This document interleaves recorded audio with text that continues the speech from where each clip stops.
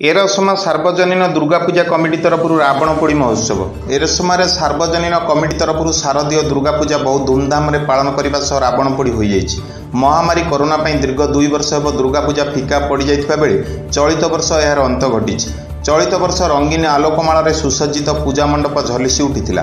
ଶହ ଶହ ଭକ୍ତମାନେ ମା ଦୁର୍ଗାଙ୍କୁ ଦର୍ଶନ କରିବା ସହ ରାବଣ ପୋଡ଼ି ଦେଖିବାକୁ ହଜାର ହଜାର ଦର୍ଶକଙ୍କ ଭିଡ଼ ଲାଗିଥିଲା। ଏହି ରାବଣ ପୋଡ଼ି ମହୋତ୍ସବରେ ପ୍ରଥମେ ମାଙ୍କ ଉଦ୍ଦେଶ୍ୟରେ ପ୍ରଦୀପ ପ୍ରଜ୍ୱଳନ କରାଯାଇ ଢିଅସାହି ଶିଶୁ ମନ୍ଦିର ଛାତ୍ରଛାତ୍ରୀମାନଙ୍କ ଦ୍ୱାରା ସାଂସ୍କୃତିକ ନୃତ୍ୟ ପରିବେଷଣ କରାଯାଇ ମୁଖ୍ୟ ଅତିଥିମାନଙ୍କୁ ପୁଷ୍ପଗୁଚ୍ଛ ଦେଇ ସମ୍ମାନିତ କରାଯାଇଥିଲା।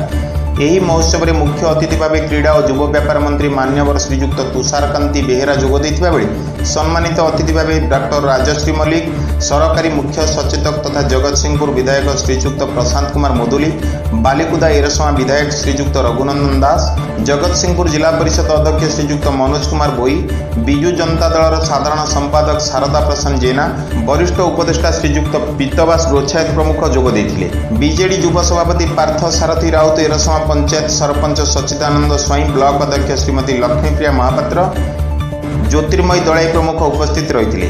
ଖବରଟି ଆମକୁ ପଠାଇଛନ୍ତି ଆମର କୁଜଙ୍ଗ ପ୍ରତିନିଧି ସୁଦର୍ଶନ ମଲ୍ଲ। ମନ୍ତ୍ରୀ ତୁଷାରକାନ୍ତି ବେହେରା ମହୋଦୟ ଆପଣମାନଙ୍କର ସୁଖ ଦୁଃଖର ସାଥୀ ଆପଣମାନଙ୍କର ବିଧାୟକ ବଡ଼ ଭାଇ ବାବୁଲି ଭାଇ ମାନ୍ୟବର ସାଂସଦ ଡକ୍ଟର ରାଜଶ୍ରୀ ମଲ୍ଲିକ ଜିଲ୍ଲା ପରିଷଦର ଅଧ୍ୟକ୍ଷ ମନୋଜ ବାବୁ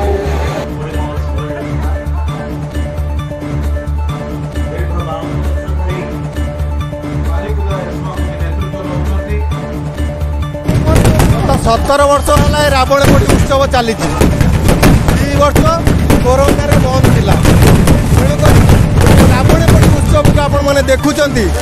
ଏ ରାବଣ ପୋଡ଼ି ଗୋଟେ ଲୋକଙ୍କ ମନରେ ଗୋଟେ ଉତ୍ସାହ ଉଦ୍ଦୀପନା କେତେ ଜୋରରେ ଅଛି ଆପଣମାନେ ଏର ସବୁ ଗା- ଗ୍ରାମ ପଞ୍ଚାୟତବାସୀଙ୍କୁ ଦେଖିଥିବେ। ପଚିଶଟା ବ୍ଲକରୁ ପଚିଶଟା ପଞ୍ଚାୟତରୁ ଇଏ ରାବଣ ପୋଡ଼ି ଉତ୍ସବକୁ ଦେଖିବା ପାଇଁ ଆସିଛନ୍ତି। ତେଣୁକରି ମୁଁ ସମସ୍ତଙ୍କୁ ଏ ରାବଣ ପୋଡ଼ି ଉତ୍ସବକୁ ଆସିଥିବାରୁ ମୁଁ ଏରସମା ପଞ୍ଚାୟତ ସରପଞ୍ଚ ହିସାବରେ ସମସ୍ତଙ୍କୁ ହାର୍ଦ୍ଦିକ ଅଭିନନ୍ଦନ ଜଣାଉଛି।